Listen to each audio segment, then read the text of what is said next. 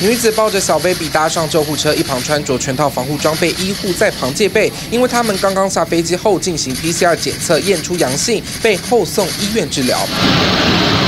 华航 CI 五二雪梨飞桃园的班机在停机坪上滑行，正是十一号开始机场落地检疫新措施实施的首架飞机。请问那个早上第一班机在哪个？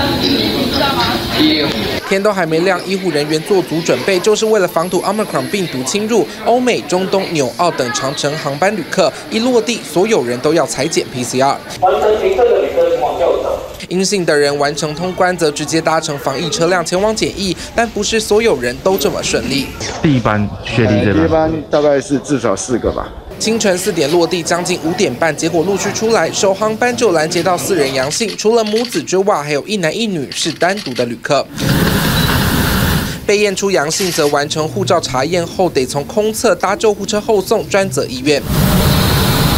救护车准备将人送医，上头的是第二架洛杉矶飞抵的班机旅客，有三人阳性。另外，上午其他三航班除了西雅图四十六人全部阴性 OPAS 之外，两架洛杉矶航班都各有五阳性。因为总共的人数是入境的人数是呃五班加起来是两百五十三人嘛，所以它是六阳性率是百分之六点七了，哦，那这个是相当的高哈、那可能比我想的还要再高一点。